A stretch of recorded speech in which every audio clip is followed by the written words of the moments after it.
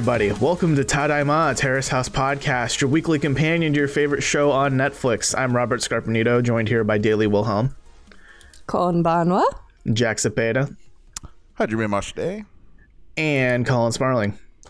Are you ready for the Q's and the A's? I Are can you only be ready, ready? for one. Bonesaw is ready. Thanks, Spider Man. yeah, uh, we're doing a little bit of a special one today. Uh, I mean, earlier this week we published our episode six spoiler cast, so if you're in for that, check that out. Uh, but recently, as a show, we've hit a pretty cool milestone. I think we're all pretty excited about it. But we recently hit 500 subscribers on YouTube. You know, we'll pat ourselves on the back for that. We're almost at 550 at the time of this recording. Yeah, and I mean, you know, we couldn't have done it without you guys. We really appreciate it. And uh, what we decided to do is kind of part part the veil a little bit and uh, let let you guys throw some questions at us. So in the past week or two, we've been kind of fielding a bunch of questions from the fans, from the Tadaima fans out there, uh, and we're just gonna kind of answer them here, you know, and have a little fun, have a little chat, you know. A, f- a fireside chat. It has been a, long butt journey. reveal. a bu- It's a yeah. butt reveal. This By the way, a butt let us know in the comments how our butts look. Yeah. How do our Yeah. butts sound? No. Th- yeah, Oh, yeah, yeah, how yeah, does yeah, yeah. sound? Colin, how does your No. butt sound? All right. Um, so healthy. Anyway, first Healthy, question. period. First question, yeah, uh, yeah. I guess we're, we're treating this a little bit like a panel, maybe. I don't know, but uh, I'll be moderating with all the questions. So first off, we have a question from Wes two two two five from our Discord server, which if you want to join, link below. Is this the we- the very Wes from Aloha State? If it is, DM us. Whoa. DM us on Instagram. Instagram. Oh, uh, daily, daily. I, don't like even know. You, you yeah, need to. State. Poor uh, daily. Uh, but Wes twenty two twenty five asks, best food porn from any Terrace House series. Keep up the great work. Thank you for that. I, I have uh, I an don't A know. to this queue. Okay, Colin, yeah, go ahead. What do you got? Hold on real quick. Hold on real quick. We should flag this first. I just thought about this. Like a lot of these questions have Flag to do with Terrace House overall. So definitely spoilers here for pretty much every ah. season that's yes. ever been out on Netflix in North America. So we might talk about Aloha State, which we haven't covered yet, but we've watched. Some of us have watched. So fair warning there. Spoilers for everything, right? If you don't want to know what they ate in previous seasons, Yeah, turn food- away. Get out of here. Now. Spoilerific. You know, It's it's, funny because we, we say that, but like food is at least 40% of the show. that's a lot. It is yeah, but it's it's like a plot point only once. I can only mean, think of one time it's a real plot point. But di- how many times has the camera been fixated on a plate of food in this TV show? Many, many Hundreds. times. at least twice an episode, I'd say. That's Yeah, what I'm and- saying, man. There's a, there's a lot of food porn shots happening. I mean, Yeah, so there's Twitter accounts dedicated to Terrace House Food. Shout out. Yeah, it's good shit. Yeah. Uh, hey, Colin, though, you had an answer. What do you got? Oh yeah, I'm gonna. I don't know who else is gonna say it, but I'm gonna beat you to the punch. Kyujitsu Oh, wow. Kacho, aka Masao, and his famous or infamous curry. Mm. Hmm. Be- because the way people, the curry itself looked good, but I mean, curry can only look so good from a food porn perspective because it's curry. Yeah. But the way people talked about it, I might it might have been the most stoked I've ever seen people on the show about food. They were raving. food- You put like especially put food cooked by clams in it. it. Yeah. like clam, clam stock, yeah. yeah. Mm-hmm. No, it was good stuff. It, it looked really delicious.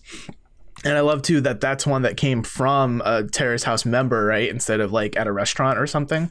Because there's definitely mm. just as many food shots from outside the house as there are inside. Mm-hmm. Yeah, and everyone on opening new doors is like, "Oh my god, Masao, this is the greatest thing I've ever tasted." Oh. Mm-hmm. We're like, okay, he can play bass real good. He can cook real good. Why is this dude like? Why? How does he not have a girlfriend? After Risako broke his heart on the back on the back porch there at O and D in Karuizawa, um, she was saying, "Seriously, you have to put that recipe in a in a cookbook." So that's how good it was. It's like I only wanted to make it for you. for you so I've got one of my favorite food shots. It's kind of a cheat, but the beer tower on Taka's birthday. That always sticks out to me. Power. I want a beer tower on my birthday. That sounds like fun. So, Um, so that's two. That's They put two goes for uh, OND so far.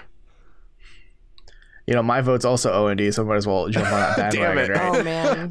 I one of my favorite ones, and maybe this is this is also cheating because it's not quite food porn. It doesn't maybe fulfill the porn part of it, but that shot of Udai's uh, soup stock, that, uh, it was just water because that's the one time I can think of in any Terrace House episode where it was a shot of food, and I was like, that doesn't look that good.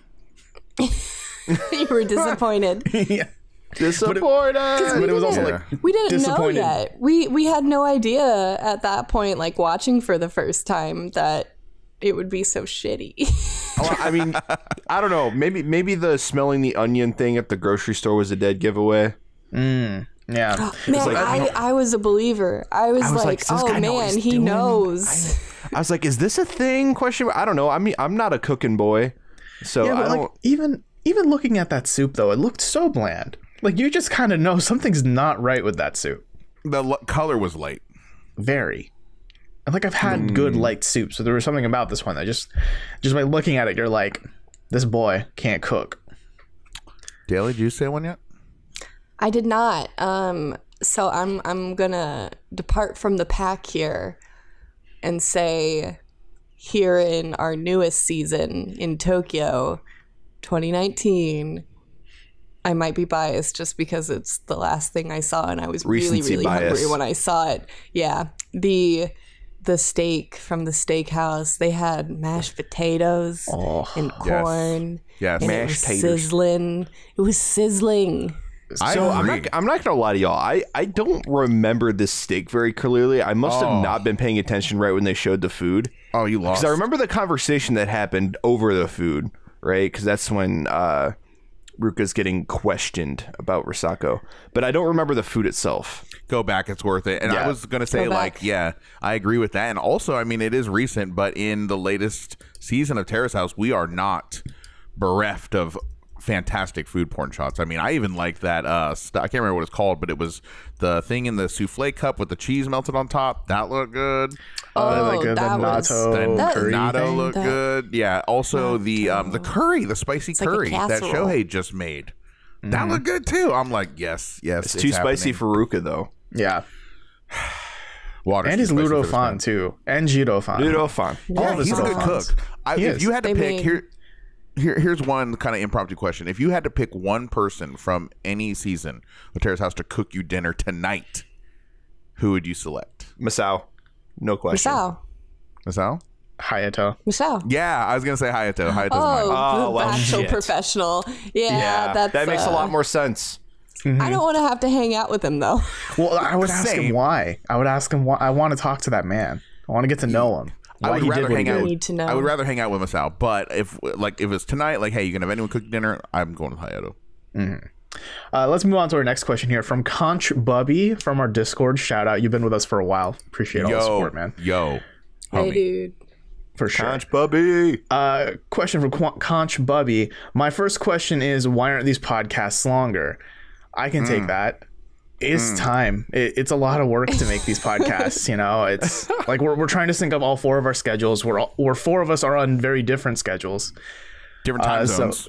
and time And zones. Yeah. yep, so it's it's a zones. lot to kind of coordinate everything and be like, you know, hey, can, when can we meet? Can we meet this time? Cool. Like, we only have this much time to record though, and also talk about all this other stuff. So Yeah. yeah. Yeah. I want to chime in here too, as well, too, and kind of answer his question or her question. I think it's a he. Um, with another question, which is realistically, how long would you want these episodes to be? Because we have had, you know, conversations about, oh, how long should the show be and what works with everybody's schedules, more importantly. And I'm just curious, you know, if people, because there have been other people that ask for more content. So I'm curious, like, you know, in a perfect world, how long are these episodes? We kind of feel a little weird spending more time talking about an episode than it would take to watch the episode, right? So that's always been something like, ah, should they be that long? We don't know, you know, but Right. we're always evolving and we want feedback. So let us know.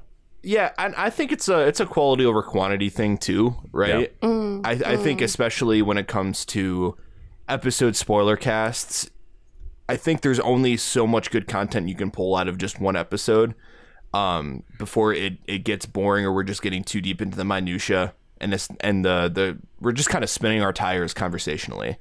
so I think uh, one of the things we've we've tried to do better as a show is really keep it moving and really focus on the stuff that we think the listeners because we think it's interesting ourselves the interesting content that comes out of an episode so we want to concentrate on the stuff we think the listeners want to hear Yeah, and I like about. to I like to think that we cover, you know, dedicating uh, one week, one podcast to every episode. We like to think we cover most of the bases. I mean, of course, sometimes there'll be one or two things that come up in a show. We're like, oh man, we didn't get to bring that up. Oh well, you know, move on to the next one. But I like to think we're pretty comprehensively covering it. So, you know, not sure what a longer podcast would sound like, but again, we want to hear your guys' thoughts on that.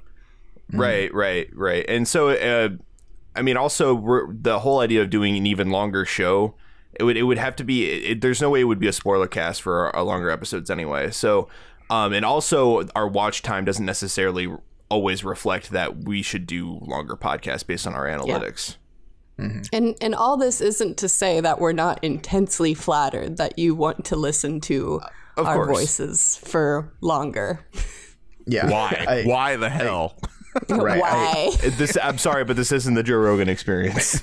I think what it comes down to is we would rather be able to produce multiple episodes across multiple weeks that maybe like one episode covers episode 10 of you know tokyo 2020 but then another episode is like one of our, our fun ones like the ones where we cover noah and Sena or uh, shion and Tsubasa right? So instead of like having one really long episode we have multiple uh, maybe shorter episodes, but they cover interesting, you know, between the lines kind of stuff that we like to do instead of just straight up, we watched episode 10, let's talk about episode 10. You know? And this is yeah, this is sort of related to this as well too, tangentially, tangentially. But uh, Sir John left a what up by the way, shout out, he's in our Discord too. But he did leave a um, YouTube comment a while back saying, "Hey, you know, maybe consider doing a second podcast, an off-topic podcast." So curious if anyone else agrees with that. I mean, we want to hear about it. I mean, no promises or anything like that, but we do just generally want to know, you know, what you guys want because we want to do the best show that we possibly can um, for for everyone that's listening and for exactly. ourselves. what do you want from us? Tell us. yeah, if you want to hear us talk about different ch- uh, uh, cheeses on an That's where your off-topic brain went? podcast, yeah, cheeses. Cheese is good, okay? Fuck you. Fair. Fair. Who doesn't like cheese? Uh, but let's let's move on to our next question. We have quite a lot to get through, actually. On that this, note, this one comes from Pika Bleck, Pika Blech, Pika Black, Pika on our on our Discord. Yeah, I was gonna say. You mean is there about to be a breakdown right now? Like, are they just like, Well, shout out to all you metalheads out there. But yeah, from our Discord, Pika asks, "Did you guys have experience with Japanese culture or media beforehand? Do you think that influenced your initial reactions to Terrace House at all? For example, I tried getting a coworker who has never been to Japan or watched anime or played video games from Japan to try watching, and they were shocked at how slow things were in general. Uh, Daily, do you have maybe a off the top of your head? So, so I'm a longtime weeb. I, I started as that kid in class that was like so obsessed with Naruto. I wouldn't stop talking about Naruto. How old and then you? as I got, uh, gosh, this was probably from like fifth grade to seventh grade. Did you Can I develop follow your up own with- Genkai? Can I follow up with two more questions, please? One, Um, no, one. How did you run? Just you in know general. how I ran with my arms back behind me because oh it's Oh more gosh. aerodynamic and it's how Hey. they run in the show. It's coming back around because it's cool now. It's It is. cool to It run is. like It's Naruto cool now. now, It's a so- meme. Next question. Fuck you Were guys. you, not were, you, cool. were you the kid in the back who would keep doing Naruto jutsu signs while while the teacher was lecturing? Okay, I wasn't even good enough to master all like the hand signs. My friend Tristan though, shout out, um, he had them down. That's how we became friends because one day I saw him doing it and I was like, fellow weeb, Oh man. we are friends now.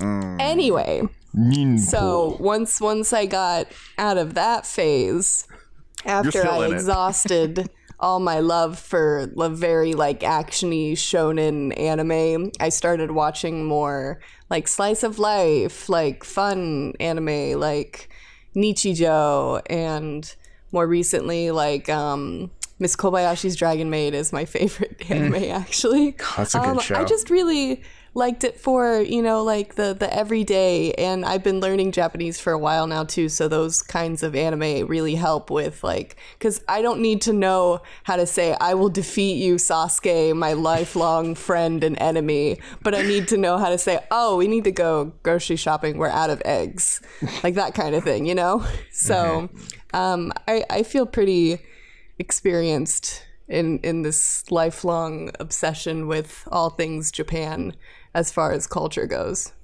Yeah. I'm in a similar boat. I started a lot with uh, Shonen. Like Dragon Ball will always have my heart, and I recognize how fucking stupid of a show Dragon Ball is. Yeah, kind of in the same boat as Robert. Myself. Yeah. And then I moved on to Slice of Life, like daily, you know, things like K-On, right? Uh, things like that. And and then just just weird anime in general. And also like I've played a lot of Japanese RPGs in my life and just Japanese made games. You know, so there's there's this humor that Japan tends to have that for Americans can get real weird or sketchy. But when you've just consumed that much Japanese animation and video games, you're kind of like, oh, I get it, right? Um, Yeah, But and, and another joke. thing too, you notice with Japanese media is, yeah, you're right. Everything is a lot slower. It's a lot slower paced. Like sometimes it's a joke, you know, the whole like it takes five episodes for Goku to fire the Kamehameha, right? Like it's a very slow paced thing, but at the same time, a show about four high school girls getting together and forming a band and drinking tea and eating dessert is one of the most compelling things I've seen and it's it's so boring like on the face of it you know what I mean it's it's just this weird thing that Japanese culture can kind of nail is that minutia of everyday life I guess Colin. Uh, I'm kind of in the same boat as, as Robert. I started out with a lot of anime, Dragon Ball being the first one I've seen. For I think it's the same story for a lot of people. It's one of their first experiences with anime. Uh, and of course, video games played a part in it too. So, video games and anime, it's a very typical way to have your first exposure to Japanese media. But um, it eventually turned into a thing where uh, I ended up taking Japanese when I was in undergrad, took three semesters of it. Don't remember much of it at all, suffice to say. Um, but that also awoke a an interest in Japanese culture and tourism and stuff like that. So I actually watch a ton of tourism videos um, and vlogs and stuff from Japan. Uh, so I came became a Japanophile along the way, and I'd really like to uh, visit there and maybe eventually move move there too for a while.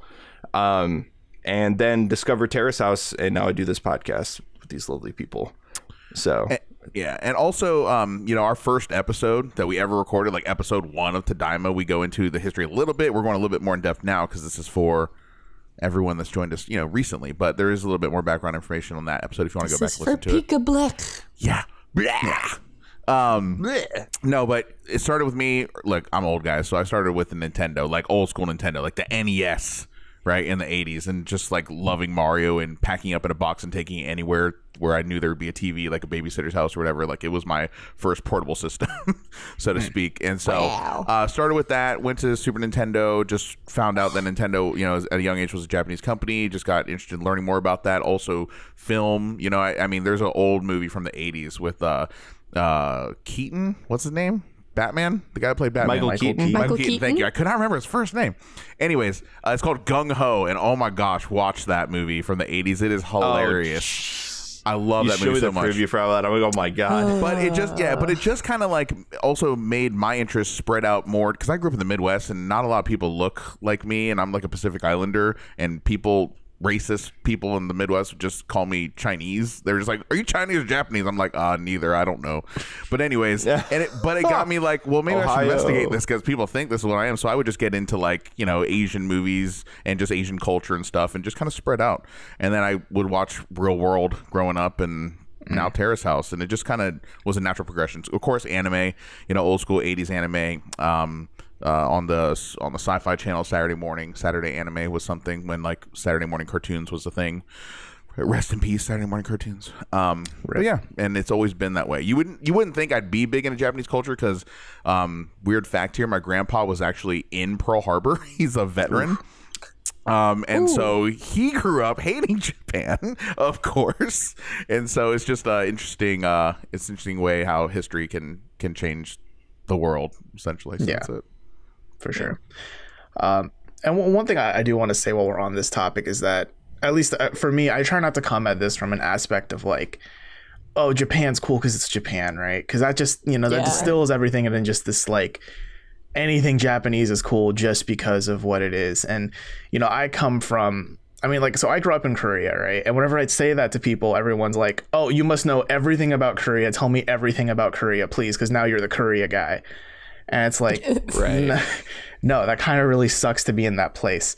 So in the same way, I try not to approach really any other culture just because I like a TV show from that country where it's like, oh, obviously all British people see words that pop up around objects like Sherlock Holmes does on the BBC show, right? Oh, like, yes. no, that's that, Yeah. that's just not how it works. And it's in the same way here in Terrace House where like the people in the house definitely act weird. Like let's not let's not be mistaken here. They know they have cameras on them. They know they do weird shit. But I'm not gonna assume like every 29 year old Japanese chef is gonna try and hit on an 18 year old idol. You know? No, no, but I, I definitely think it it like it's better that we do have Terrace House to kind of give us that inside perspective of what it's like for the most part to live day to day in Japan, right? Obviously with a few caveats, but it, it's giving us that insight because like uh one of my favorite Japanese YouTubers, uh, that Japanese man Yuta, he's like basically a Japanese YouTuber for English speaking audiences. He's like basically tells you like up front this is what Ja- Japan is like. This is why this happens. This is why that happens. Blah blah blah. Um, and so he did an, he did a video about weeaboos, and it's just titled "Let's Talk About Weeaboos." And basically, what he goes on about it, and I think this is a really good point, is that we do, you- you got to be careful to to not straddle that line of like fetishizing a culture of people. Yep. You know what I'm saying? Yep. Like just because you're a person from Japan doesn't mean like not everything eh, to Robert's point like you can't just define them by just oh you're that Japanese guy. That's see because that's I mean they're a per, they're people. like you can't just you got to treat a person like a person. Right. Your country does not define your personality. There's, Exactly. There's, there's infinite personalities within the country and culture of Japan, just like Right, any other and- country on earth. and I, I get that that Japan has a unique uh, pop culture to it, has a lot of interesting things come out of it. It's a beautiful country, you know. Um, but at the same time, I mean, people are still people. They're still, you know, have lives to live. They're, they're just like everyone else in the world. They're trying to live their lives. So, yeah, just that's my rant. People's people. People, is people. As fun as it is to is talk people. about, you know, terrace house and Japanese people, you know, you just you just got to be careful and be mindful of that sort of thing. for sure. And I'm definitely guilty of it. Right. Uh, so th- this these Guilty. guilty samurai. That's Colin. Thank you. No, Thank uh, you. but the next two questions are kind of these are ones we get from kind of everywhere. We've gotten them since we started the show, so we just kind of want to get them out of the way now. Um, first one being, will we ever cover Boys and Girls Next Door? The very very first season of Terrace House, where it all began. Uh, Jack, do you maybe want to take this one? Oh God, me.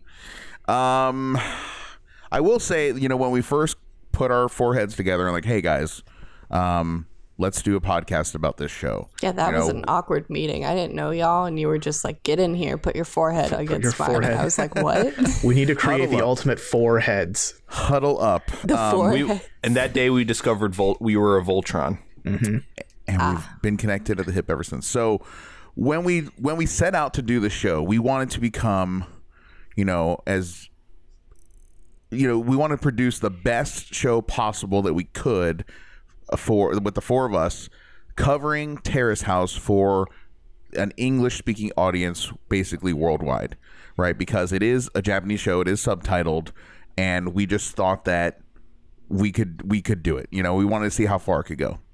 So for that reason, we're really focusing on the shows that are readily available to um, English speaking audiences, and those are the episodes that are on Netflix.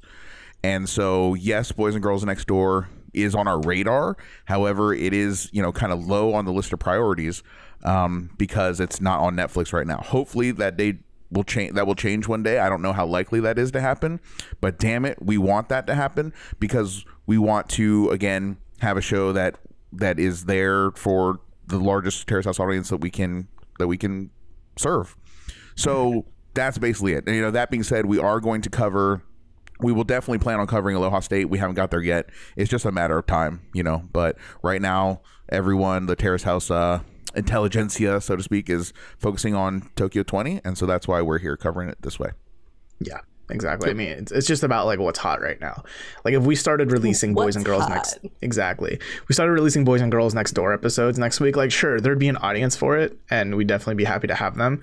But we'd also be really missing out on the second half of the first part of Tokyo 20, right? Yeah. So yeah, that's kind of our focus. Yeah, ne- never say never though. Yeah. So don't think we're never gonna do it. Just- Right, right, In the and uh, words of Justin Bieber. Yeah. right, and and it's it. definitely gonna like if if we were to cover that series, it would definitely cut our audience down, right? Like there's just it, not as much of a listenership since it's the Boys and Girls Next Door just isn't as accessible. it's just extra hoops you got to jump through, right? Right. You know, but man, the Terrace House audience. If there's one thing I've learned in the last what ten months, holy shit, how long we've we been doing this? Um, is that the Terrace House fandom is rabid. You guys are awesome. You guys are hardcore. We mm-hmm. are humbled that you would even spend time with us every week listening to the show. So, I mean, to go through and translate in English all of those episodes, like holy shit! Like name another fandom that would go to those lengths. I mean, that is really impressive. Yeah, And I so mean- so you really want to shout out like how awesome that community is that they would do that. Yeah, I mean, we we shout them out pretty constantly, but hey, Costco subs, you guys do awesome work. Like you're yeah. kind of the backbone of the Terrace House community, which is pretty awesome to see. Mm, for sure, for sure. Uh, one hundred percent. Love you guys. Hi. Eh.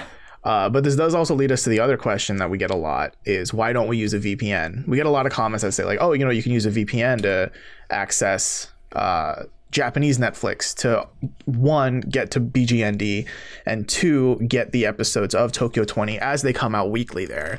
And you know, it's just about like we're trying to access the biggest audience again, right? Like we're tr- we're, we're all stuck in America, unfortunately, different parts of America, right? Um, but you know, it- Unfortunately. unfortunately, right? Unfortunately, we're in America right now. It's not the best country to live in right now. kind of yeah um and you know it's, it's it's just a matter of like cool part one just came out we're gonna we're gonna cover that for now we're gonna dig through it and go through and go in deep you know yeah, it's just about again, you know, trying to um, help the show grow as quickly as possible because we are late to the game. You know, there are, you know, speak the name, yeah. but there are plenty of Terrace House podcasts out there. You know, so again, we're just humbled again that you guys would choose to to spend time with us every week. Thank you for choosing Tadaima. Thank you for choosing. like we're a healthcare provider, a cell service. thank you for choosing to die my side effects man Uh, yeah, yeah. Now, now boarding our Delta Platinum members. Now boarding. but Our Discord members, join our Discord. yes, get in there, man. There's like, there's a, like I said, small group, cool people, man. There's Very much going so. on. Yeah, it's a little discordant. Hey. so let's get back to those Uh, those discord questions after that bad joke uh we have one here from adam shout out Just adam. Adam. yeah Just Adam. Are you Discord. the Yeah, one and the only Adam? he's the only adam he was the very first Well, Um, question for the pod. Any Terrace House alumni you're hoping to see pop up in Tokyo 2019-20? Hashtag bring back Armand. Now, you are Adam, right. question for you. Question for you, Adam, is are you British? Question for the pod. The question for the pod. That that is a very British way of talking about a podcast. Is it? Is it? Yeah. weird that you know that. because I, so uh, I, I listen to the Abroad in Japan podcast, and every time they end it, like listen to the Abroad in Japan podcast on this, and anyway you get your pods. Yeah, I don't, I don't like know. pods. I don't know if I can be a on board with reference this to one. podcast Let's, British. let's just answer his question, please. Yeah. anyway, So, uh, who would you want to see come back and a, a Terrace House alumni show up in Tokyo 2019-2020 daily? okay, okay. So, I know, and he he said what would be my honest to goodness first choice. Like Armand, I want something to have. Well, he did in the end get his story, but I, I guess I want more action for Armand. I want, I want He comes back to Aloha State too. By the way, spoiler alert. Nani. He does. He- Don't makes tell a cameo. spoilers. Why are It's a you cameo. bent Okay. on spoiling her for Aloha State, Colin? You Yeah, every dude. week now you're throwing new shit out there. Stop. Colin, Did, no, did we you're already talk about it? We already talked about this. Okay, keep going.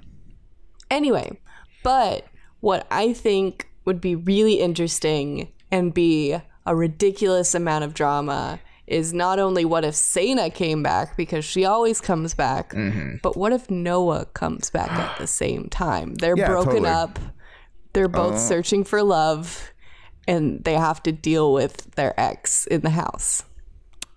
You're That'd talking about coming back and like living there, or just a cameo? Yeah. appearance? Oh, Mm. what?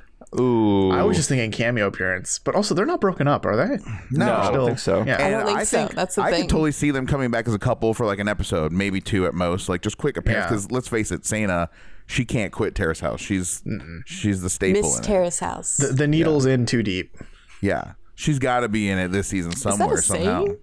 I get it is now. That's Hey. a terrifying saying. I don't like that. Someone mentioned, I think there's a YouTube comment out there that like they'd like to see Guy come back for the Olympics oh yeah. for surfing, Guy Sato. and then also um, Kaito for skateboarding. He, that's his goal, isn't it? Oh. To be in the Olympics too. So we have two board sports athletes Yeah. that could totally do it. So hope Yeah. to see that. That would be awesome. You know, I'd, I'd love to see some uh, boys and girls in the city alumni because you know now they're they're kind of they've been around for a while, and we did recently cover BGITC, but when you think about it chronologically, it's been f- three four years since they were on Terrace House, right? Like it'd just be kind of cool to catch up with like Uchi or Mizuki or even Tap, you know? Yeah. Yeah. We have of them. to. Do we have to? I would, like to see, I would like to see them reach way back in the well.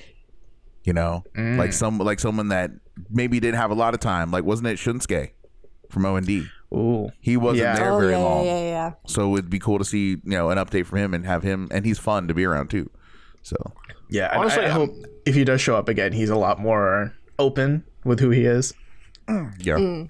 I think I think they're. I would be happy just to see pretty much anyone show back up on you know on the show. I, it, it just makes me happy anytime an old uh, uh, what would you an alumni shows back up on the show. Uh, I I mean Hansan is always a given. I think if Hansan just showed up at the house, that'd be pretty great. Yeah. Uh, next question we've got here. Another one from Conch Bubby from our Discord. Uh, what were your guys' first reactions and thoughts when you watched your first episode of Terrace House? Uh, Colin, you want to take this?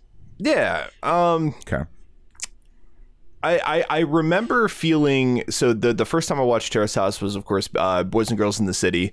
It's probably about what two three years ago now when I watched it for the first time, and uh, I remember hearing about it actually from a professor uh, of mine, and I think I talked about it with Robert, and then so I just proceeded to watch it, and I remember feeling that it was like slow because it was that first episode of BGITC where everyone's walking into the house and they're like, uh, uh, orewa, and then, you know, hajime mashite, and they're like all really quiet and they're like, you know, taken in the house. And I was like, wow, this is very quaint. There's no crazy smash cuts. Like, there's no loud interviews happening. There's no loud music. It's very ASMR. Uh, and that's the thing. I was like, okay, I don't know where this is going. Don't know how this is going to go. And it took about two or three more episodes for me to be like, okay, I'm in.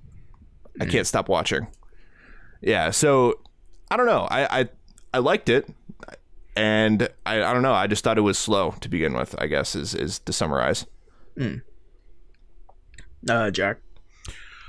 BGND is where I started, and controversial take here. Wait, wait, wait. Robert, what? BGND? BG, B- Boys and Girls in the City, BGITC, and um, is where I started. And Bitch. Robert, yes, bitch, and Bitch. Robert was the one that recommended that I check it out. And uh, because it was reality, reality TV, I definitely went in wanting to hate it.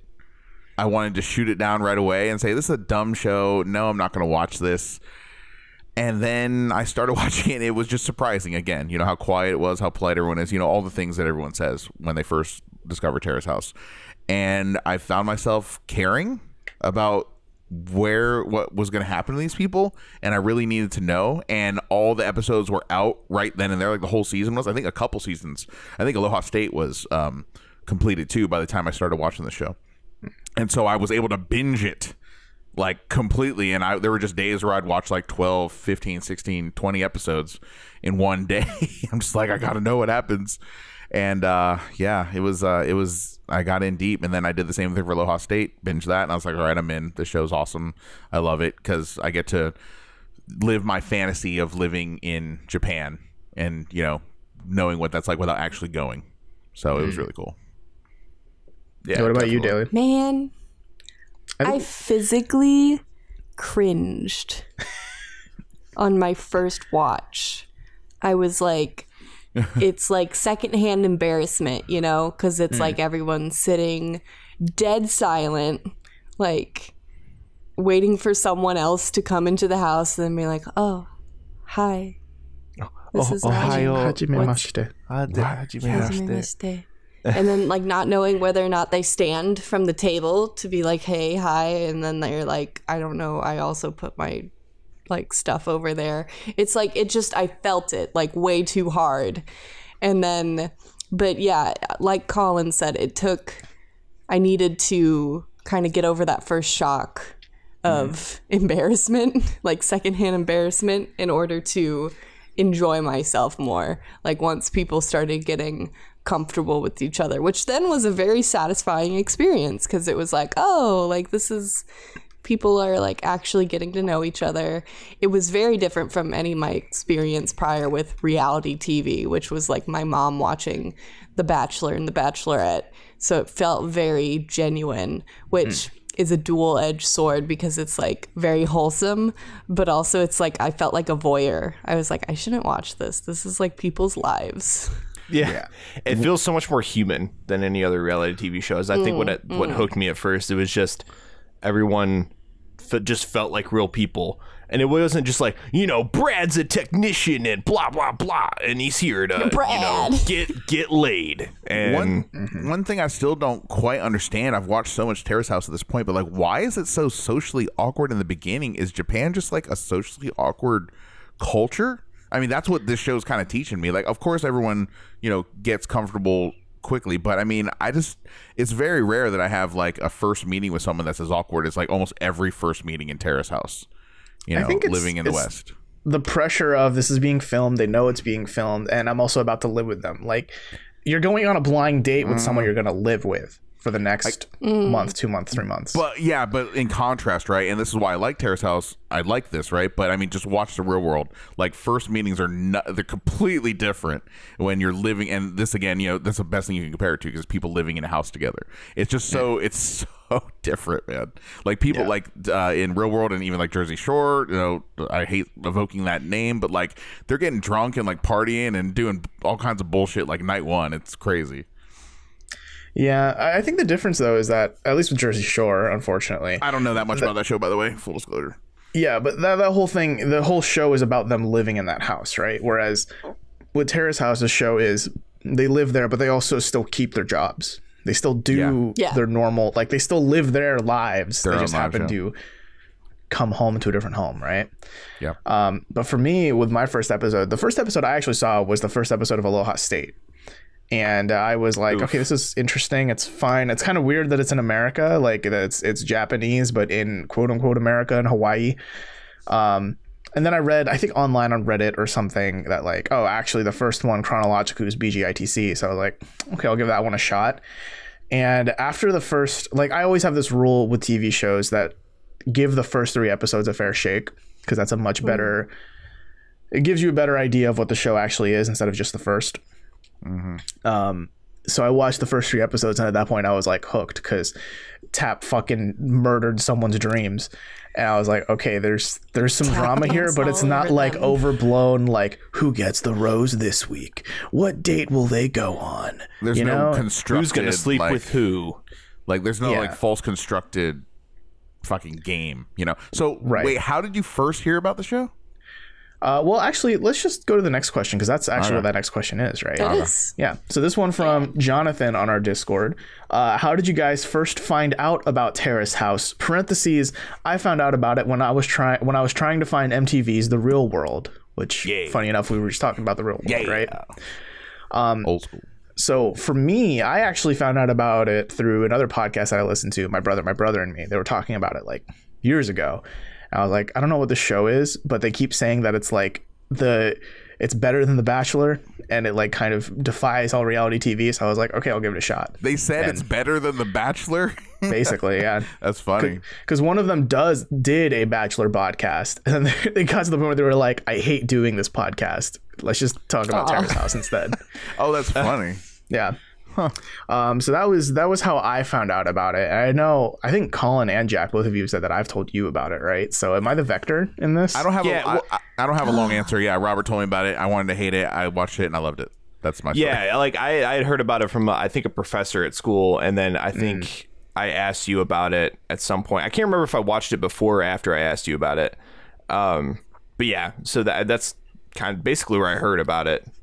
right. I had the the horrifying experience of this weirdo named Colin coming up to me in class and Savage. being like, "Hey, have you ever watched chair. Terrace House?" and then that evolved into, "Hey, do you want to do a Terrace House podcast?"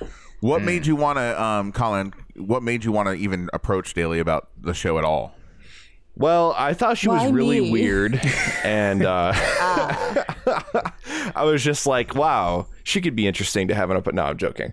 Uh, no, I so I actually met Daly like purely by chance. I think we were being given a tour of like campus because we both moved to Seattle and we're going to UW, and uh, we just started talking about. No, Daly actually overheard video game talk. Wasn't that what it was?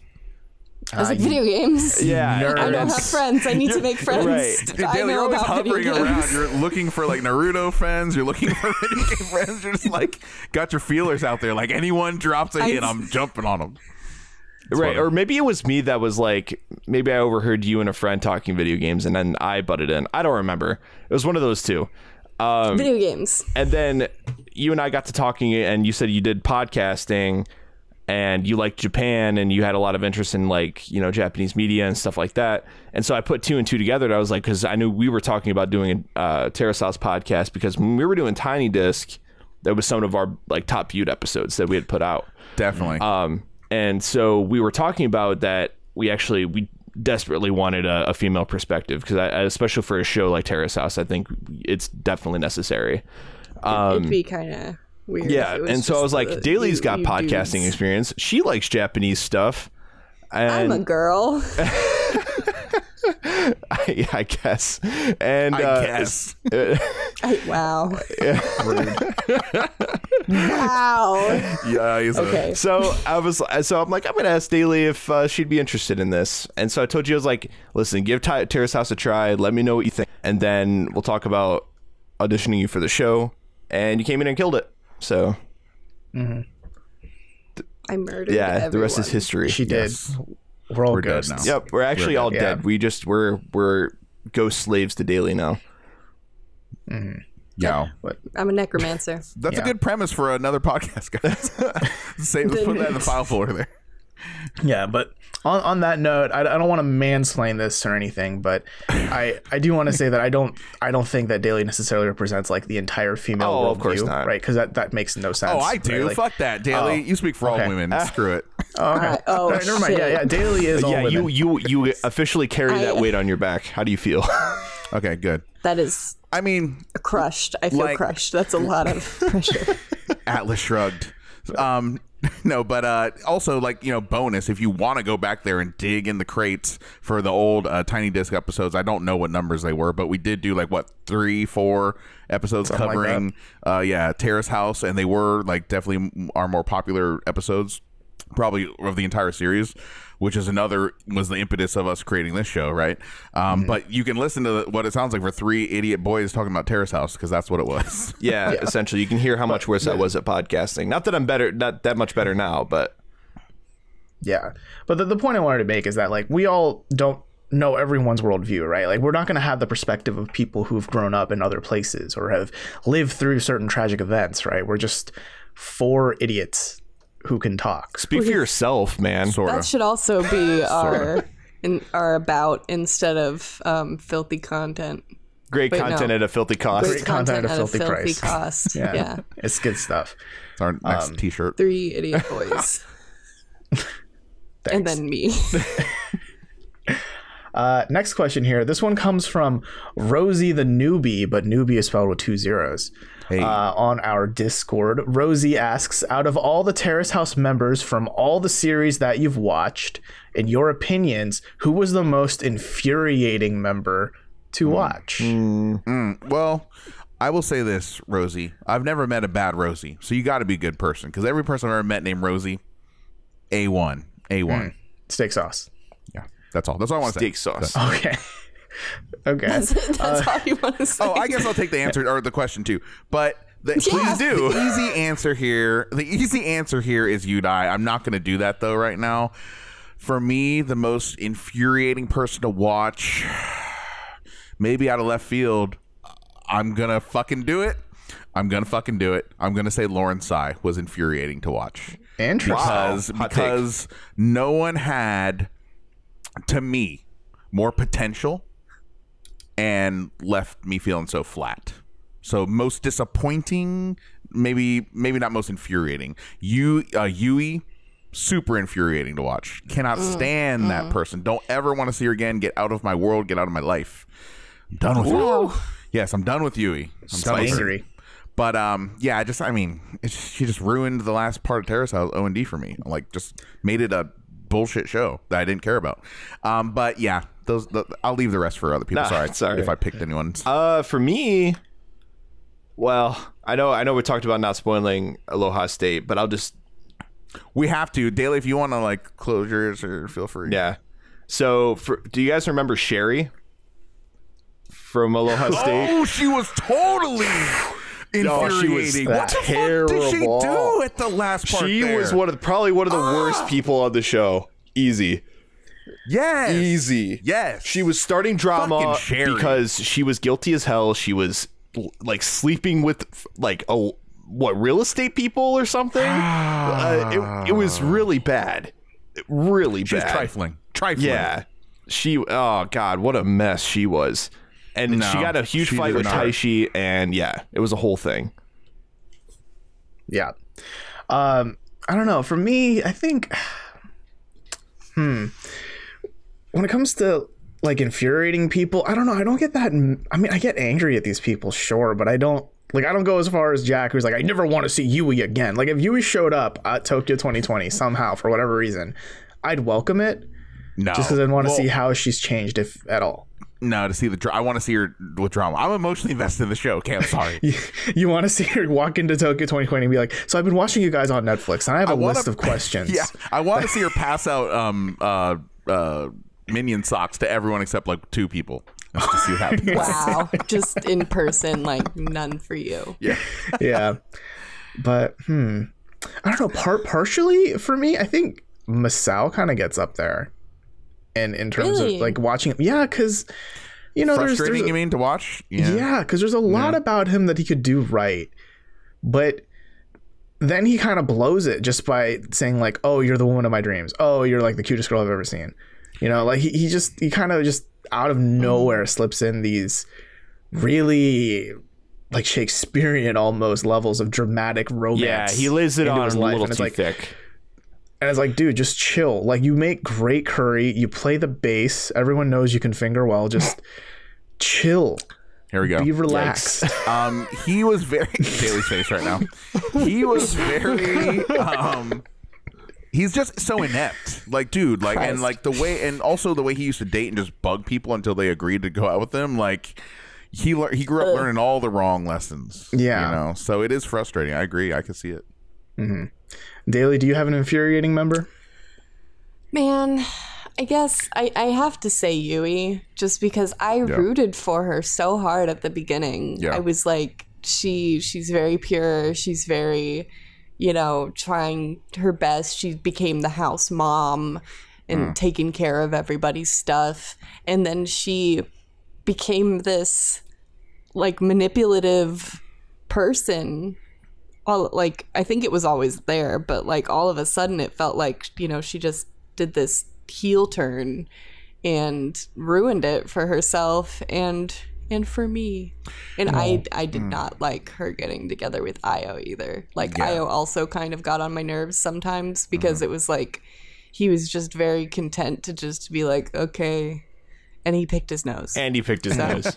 There's always and a sign that. of sin. and he picked his nose. Yeah, he they kind of ruined yeah O and D the ending for me as well too. And and Yui's very clicky now. If you follow her on Instagram, like she is very close with very select few people. So it's like it kind of broke up the house uh, camaraderie.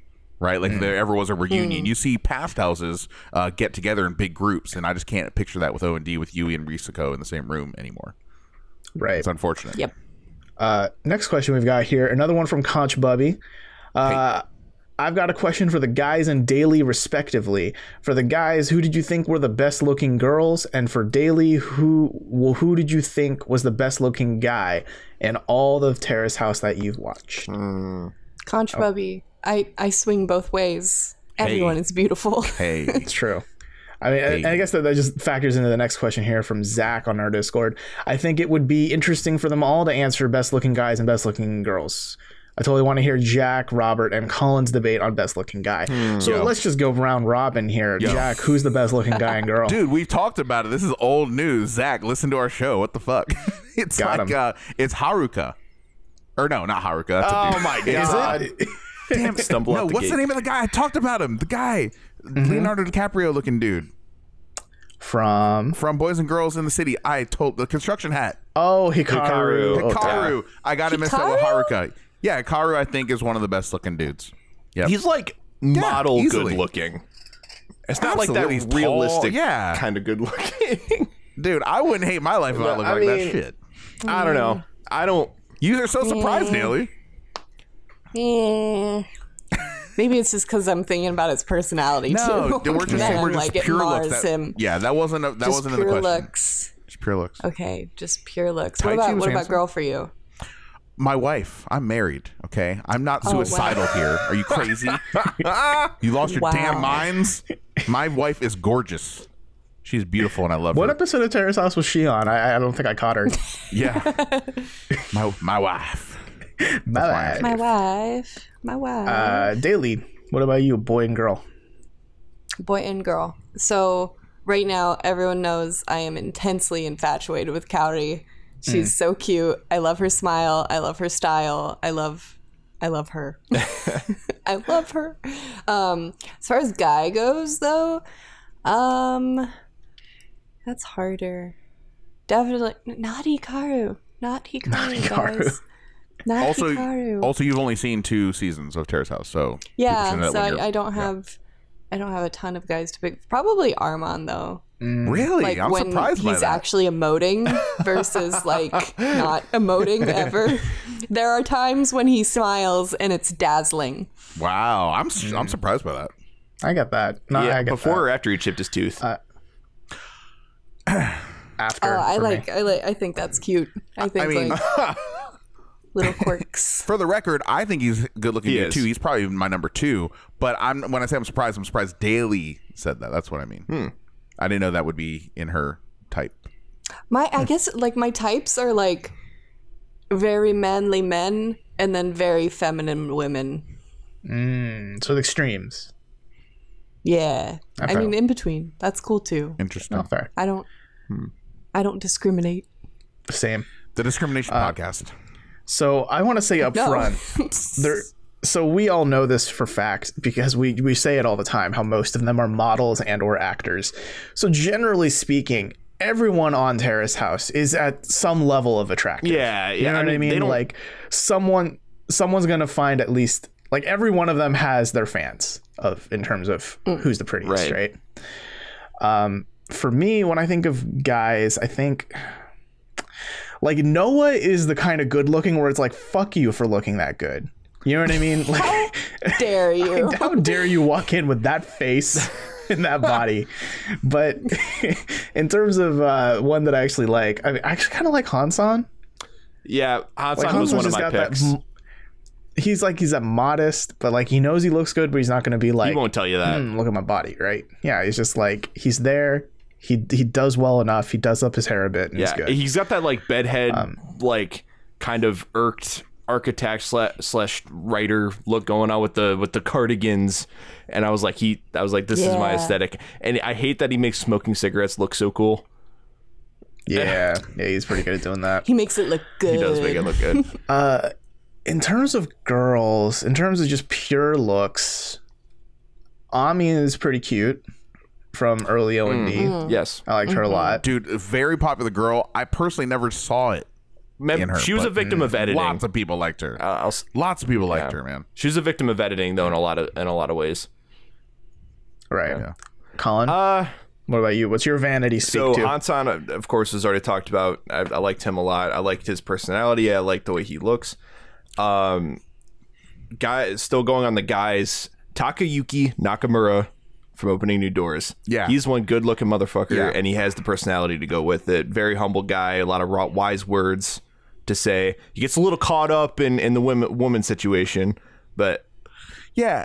I thought he yeah, was but handsome. like him either way. Definitely kills it with the the mustache. He's one. I think he's the only guy that's been on the show. And like he's killing it with that mustache. He needs to keep that going. Yeah. When when he shaved, he lost like points. 100%. 100%. I was like, no, I love the mustache. Yeah, Keep yeah, the mustache. same. yeah. Um, uh, girls, uh, Mizuki is is still my first Terrace House love. Uh, one of one of the first girls on Boys and Girls in the City. Uh, yeah, was she was she was really cool, and she kind of got screwed over by Armon. Um, because I really thought they had something Yeah. going Yeah. there. Um, so it's kind of upsetting. And uh, Kaori is like the newest. She's kind of got got my heart in the house right now in terms of, of girls uh, currently. And then uh, Lauren Tsai, I actually really like Lauren Tsai a ton in contrast to Jack. There's nothing to like. What is to like? She's talented. Uh, Stop. This isn't a debate. I'm sorry. I haven't I'm watched just- it, I'm and I want to throwing love questions her. out there to I the don't wind. know. I'm she's sorry. Talented. want an She's answer. slightly awkward, and I, I I like slightly awkward girls for some reason. So Let me do my impression of Lauren Tsai. That's it. that was dead. Congratulations for giving us some dead Wow. podcast wow. air. Everyone. was Exactly. very Lauren Tsai is the dead air of oh my god, No, I like Lauren. Lauren's great. She's cool. I like her. Please be on our podcast, Lauren. That too. But but generally, I did I did like her on Aloha I State. did too. Um, I also I want to change my answer for girl. I- It's uh, Aya. Not not Ami. Aya, the girl who liked Taka a lot. Mm, The Garu Oh, girl? Yeah, the Garu. Garu. Garu type. Oh wow. Yep. I listen. I don't want to dwell on this too long, but I just realized why I don't like Ami that much. It's not because necessarily what she was like. She wasn't receptive to the guys, whatever. But I think the reason why I don't like Ami so much from O and D is because I like Taka so much, and Ami. I kind of blame Ami in a way for making Taka look mm. stupid, even though it's not her fault. It's unfair. No. It's But alright. Fair. she made him look stupid, or he looked stupid because of her. I don't know which way. yeah. goes. Fair enough. Uh, Loyalty. Let's move on to our next question here. This is the last one from Conch Bubby on Discord. My last question Who are some people that you wish became couples? Ooh. Daly, do you want to kick us off? I I really did see Armon and Misaki working out really well. I I liked the the camaraderie that they had, and they even were able to continue that. You know, after he started um, pursuing the Hat Lady, Arisa. Arisa. I couldn't summon her name, but I I really I, I wanted that to happen, especially considering what then happened. I, hmm. I wanted something for Misaki, and I wanted, and I thought that they were a good pair together. Mizuki. Oh, wait, you right? think Mizuki? Mizuki. Yeah, I was gonna say I was Mizuki. really confused. That was one of the. Yes. Misaki ends up with That's one of the saddest parts. Sumimasen. Yeah, that was the saddest part of O and D for me, or um, Boys and Girls City, where Mizuki and Tap are in the room. Like, I guess we're the losers. We're gonna leave tomorrow now. Oh, Oh, look at Ah. the ruins. It was rough. yeah. It was so damn I sad. don't know. In terms of couples, d Colin, do you have Um, any? I mean, we did an entire episode about this kind of our misconnections episode. Um, Yeah, that was specifically season, for though. yeah. For yeah, OND, that's that's true. Um, but in terms of couples, I wish I would have ended up together. Yeah, I mean, Mizuki and Armand's definitely a given. Uh, goodness gracious. I got one if you need time. Yeah, give me time. Okay. Okay. Uh, Dahlia, you might want to earmuffs this for like sixty seconds. Oh no. Okay, guys. Fucking, t- I at the time wanted Taishi and fucking Lauren Tsai together so bad. They walk to the fucking park. Lauren just stares at him, doesn't say anything. It's one of the shittiest moments ever, and I, that's another reason why I don't like Lauren because she's so fucking boring on that show. I'm sorry. I'm just going Damn, off. so going. In. need to calm You down. so but mad. Taishi and Lauren would have made maybe the most beautiful Asian babies in the history of humanity, and they couldn't get together. So those are the two I really wanted, and fuck, I was mad about that. That it was so frustrating to watch. Yeesh, you are angry. All right, Daly's coming back. Hmm. Daly's back. Okay. Hi, I gotta. So, since this episode is all about kind of peeling back the curtain a little bit, the way we do this is we're we're on Discord and we have you know one screen with all four of us in the Mm-hmm. webcam, so that we can you know talk to each other without trying to interrupt each other. The gestures that were happening just now by Jack, you were you felt some feelings about this. I don't know what it was, but you were like. I thought I was watching a presidential debate. He was mad. I have a lot of yeah, I have a lot of uh, repressed anger about that. what I just talked about, I guess I'm learning about that right now. Sheesh. Uh, for me, I I know Hansan at the time was a taken man, right? I would have loved Taken to man. see what a relationship between him and Natsumi would have looked like, only Yep. because he would have grounded her. And I'm very curious how that how that would have changed the way we view her on Boys and Girls in the City. Obviously, now they're both happy and on their own, right? Like Natsumi is currently pregnant and married, or maybe she just had the think she she had the baby. baby, yeah. Great for her. Not Uh, I sad. believe Hansan is currently dating someone else, so he's happy as well. So you know, now where they are now, I'm happy for them. But I would have been interested to see how that would have developed, maybe on TV. Oh yeah, definitely. Mm-hmm. Um, gosh, I honestly, I think you guys covered a lot of the, the bases that I wanted to hit. The Hansan was actually my my my cue. So I can't think of any of the other big ones off the top of my head. Was there any potential ones that that Hansan date Hansan? yeah Hansan. Hansan date Hansan? Was there any big ones that I'm I'm missing that I could have hit? Like almost Mm. almost ones. Yeah. I mean, Kaito What- and Maya. Oh yeah, did. that's true. Here, here's something I want to throw at the table. Uh, this is just a, a Robert Scarpanito original question. What guy would have been perfect for Shunsuke out of all the Terrace House we've seen? Hansan. Duh. Hansan. Well, he's perfect for I mean, everyone. Hansan's best for everyone. Yes. Ev- Everyone needs a Hansan in their life. I mean, he tried. He went really hard Maybe- on, to to try and get s- court soda, essentially. Yeah.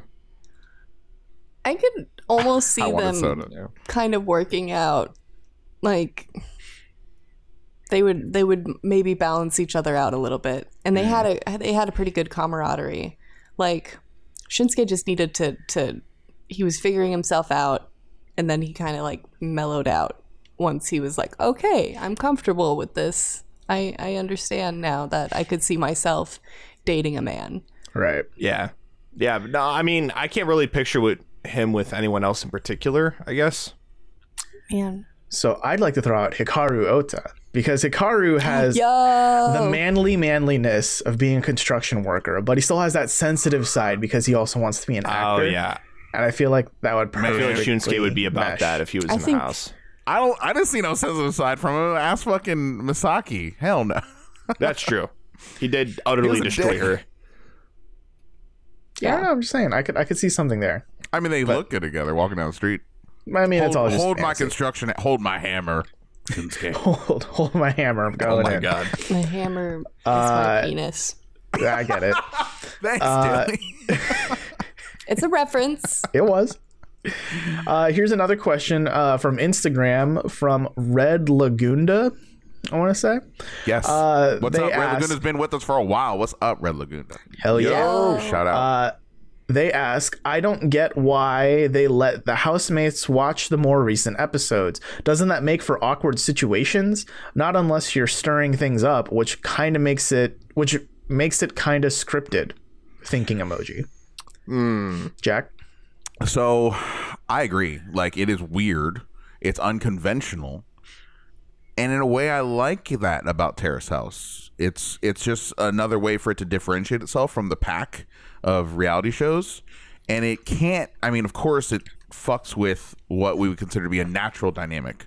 You know, natural um relationship progression. We just learned that recently in watching what was it, episode six of Terrace House, episode five? Can't remember the six. Yeah, episode six. Yeah, where everyone's watching together in a room and then Haruka kind of shrivels up. She's like, "Oh no, he knows I think he's cute now." And it's just like it's it is awkward to watch, but it's fascinating in a way to see how it uh it can't help but influence their decision making, right? And their actions. I mean, they're going to get feedback from Twitter, from Instagram, from everywhere on what the co- Terrace House community, the watchers, the viewership thinks about their actions, and they they're going to change that. So, you know, go into it knowing that they are influenced by what is shown on TV. Um, it doesn't ruin the show for me, but yeah, you are right. It does um, does influence things. Yeah, I kind of share the same feelings as Jack. Um, I think that it adds an interesting dynamic to the show that you're not going to get anywhere else, and I think it also makes the show feel more realistic in a way. Uh, because knowing that you're being filmed all the time, but then you can't watch that thing, that's kind of weird.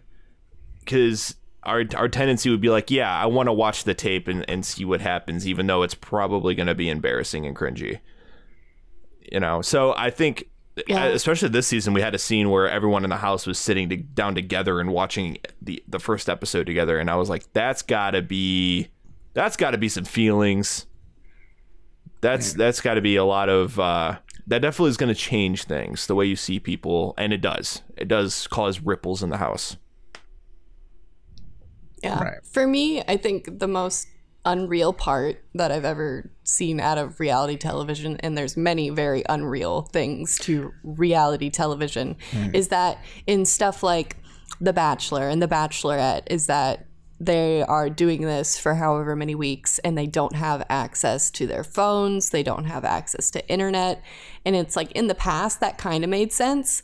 But now we live in such a connected world that it's like, you're going to get some weird behavior just because people are unable to access a very large part of their everyday life. Like, in fact, the last like two seasons have been significantly affected by the fact that people weren't able to access information about the person that they were dating that everyone else knew but they were unable to know like there were cheating scandals etc Oh, that's interesting that didn't that ruined relationships because it was like hey now that we're actually able to connect on the internet i saw on twitter that you said this and that's fucked up so I, I appreciate it. I appreciate that they acknowledge the reality of like, hey, we're on a TV show and we're able to access that when it premieres because it'd be weird if we weren't allowed to and then like other people were trying to tell us about it.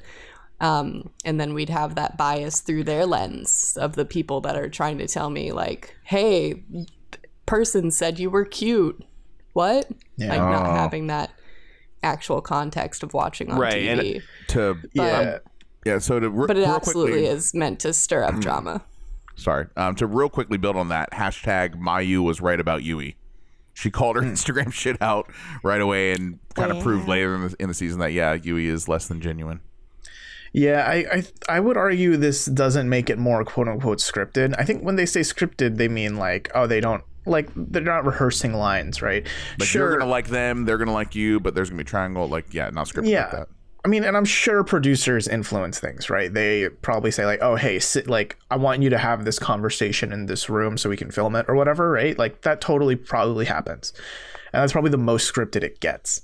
But I don't think that them watching old clips of themselves would change anything. If anything, it makes them think of it like football, right? It makes them a better player in the Terrace House game because they're able to watch old reels, you know, they're able to watch clips see what they did wrong or right, see what other people did wrong or right.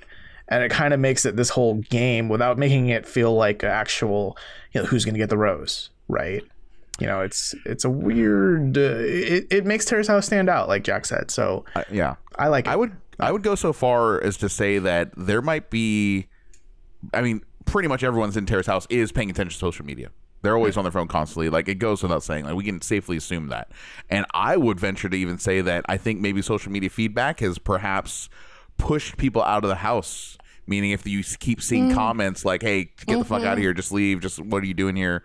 Blah blah blah. You know, things like that. Like, "Oh, they should leave." Da da da. I I could definitely see that being an influence on someone's actual behavior on the show. I mean, it influenced Yui. She like almost didn't pursue her career. Totally. because that, yeah, right? easily. so it's that's another really crazy wrinkle, and it makes the show even more modern yeah Yeah. in the age of social definitely media. so and i think it would in contrast it would be really strange if uh if they went out of their way to like not show the members of the house watching the show if that makes sense So if if they were watching the show off screen and it doesn't really get brought up, but you're noticing changes in behavior, I mean, it's realistic, Right. right? Because you can't sequester them. right? It's not that kind of show. You know, you can't make them sign a contract saying, "No, I'm not going to watch the show when it's happening real time." Like, Right. If they have just gotta be access to realistic about internet, so might I mean, unless they it. block Yeah. Netflix, like they're gonna have access to the show. I mean, they're just going to go watch it while they're pooping if you try and ban it. right. Perfect. That's Yes. that's where they watch it actually. Um, but Anyway. let's let's move on to the next question that we got here. Another one from Instagram from Weeks Ringle. I want to say. Should I What's say up, that? Weeks Ringle? What's up? What up? Uh, Weeks Ringle asks, I want a 30s to 40s version of Terrace House with Kyuji Tsukacho and adults who have lived or who have had more life experiences. Also, there have been too many models. Please show people with professional skills and interests. Uh, this isn't really a question, but we wanted to pick it just because, like, I mean, for me personally, I agree. There are way too many models. We've always said this, and it just kind of Yeah. feels like we're watching the same people It- yeah, it's our official Mm-hmm. stance. Less models. less models. Yeah. yeah. yeah like this this season has been interesting because it's like yeah there's a bunch of like models and actors but they're also doing other things like driving fast cars and everything in and the it feels of weird. shows. To, it feels weird to call Shohei a model or actor either because he's just that as that as much as everything else he's doing. Yeah, he's a renaissance man. he's also doing carpentry Yeah. and So I, stuff, I think he is he really is yeah, he's trying to become the jack of all trades, but I think I think they're making it a point, at least this this season here, to diversify the cast and and go out of the way. I think there's probably some common feedback that producers get uh, at Terrace House is that yeah, there's too many models. We want to have people on the show that feel more grounded and that people can really latch onto. And that's only going to help their viewership and make the show more interesting, right? If if they have more people that are grounded in reality, um, because that that way it just, it's just more relatable. Uh, now, oh. mm-hmm. for me, I don't know if I am as interested in having an all 30s to 40s year old cast of Terrace House. I think it'd be interesting to have a 40 year old in the house with everyone else as they are now. Yeah. Because then there's like a different perspective, like a Tsubasa's dad like a true generational gap, Tsubasa's dad, for example, where there's actual wisdom that can be passed on within the house. But once everyone there is around the same age bracket, we get the same thing that we get now, where there, there isn't much that's being exchanged. We noticed like the 30 year olds maybe give guiding information to the younger 20 year olds, right? But if everyone were 30, it's kind of like, eh? I would like to see one class of Terrace House that is older. You know, maybe the median age is maybe in the 30s, right? I would like to see at least one group, one set of six, right? Um, but uh, to me, this is a reaction. Like I had the same reaction as um, as as yeah, as this question is saying. Whereas this is all about Yui, like ruining the end of O and D with this immature high school, kindergarten, middle school bullshit. You know, mm. and so that like with an older, more mature group, you would think that this kind of bullshit would be less likely to happen. And I want to see like real problems get addressed. I want to see people really grow, and that's maybe something I want. I want. I feel like a lot of people hit the ejector seat on Terrace House before they actually have a resolution. You know, Yeah. Uh, Yudai's one of them. Like a lot of people pop out way too early, and maybe they're just a lost cause. But like I would like to see some true, true progression. Growth. I mean, Armand is kind of yeah. Armand is kind of a good example of you know someone staying there for a long time and going through several arcs before having a happy ending. So I want more of right, that and stuff. I, but I think that it's it's ni- it's a nice to have thing for someone to have an arc on the show, right? Because in a way that reflects real life, right? Real life doesn't really work with in arcs per se. It's more so it's more realistic that people decide to leave before something happens in their life or decide to, you know, or they hit a milestone and then they decide to leave. Uh, so I, I think that we ha- having a mixture of that is only realistic because it, not everyone's life is going to be have a section of it that's just tied up in a little bow and it's just finished and then they decide to leave. But i like I- it but Yes. that's that's not But reality TV. it. That's just TV. That would just be a TV show. but i like wrap it wrap it up Well, in a I want 23 minute that. time span. I want Fair it. Yeah. I mean, it, it it's always depends, right? Because everyone's always at a different place in their journey through life when they enter Terrace House, right? Like you have Hansan, who's kind of at his peak. Like his arc was just school, you know, and then he kind of helped everyone else with their arcs. if He was already having he was already having an awesome life. He was just kind enough to let us in on it for a little Yeah, bit. exactly. Like everyone is is different where they are. Like Yudai was perhaps way before his growth arc, you know, so we didn't really get to see anything like that. That's just kind of how Yep. life works, right? He might not even ever get an arc. Yeah, maybe. but um, in terms of having Uh, a house full of older people, not that I would be opposed. I think it, working it in as a class could be much more interesting. But I, I feel like having all older people, uh, kind of wouldn't be Terrace House in certain ways, right? I think in some ways it would appeal to a different demographic. Dude, how much older are you thinking? I'm just thinking like five, six years Uh, no, older. if they're doing not- like into the four, like a lot of people all in their mid 30s to late or to early 40s, then I, I, I could be different. I mean, early 30s, I, I guess could. I don't know. It could it, it could depend. well, if you like sex, I think there'd be a lot more sex. okay, I want all 49 year olds. All That's what I'm saying to you. That's what I Because. I, I, the fact that you, I don't know, I think that's pretty controversial. You say it wouldn't be same I old don't terrace know. house. I it would have a different vibe. I guess is what I would say. I'm gonna I'm gonna take the opinion that people is people. Mm-hmm. Some of the same bullshit is gonna happen all your life. Doesn't matter what age you are. Yeah. Like we might be giving people too much credit for Yeah. being like Fair enough. mature as they age. Like people people can People suck. be children for their whole life. Definitely. and that's not necessarily like a bad thing like you're allowed to keep learning as you grow like there's no one year where you suddenly gain all the information that you need to function as an adult it's a learning curve it, it keeps on going Yeah.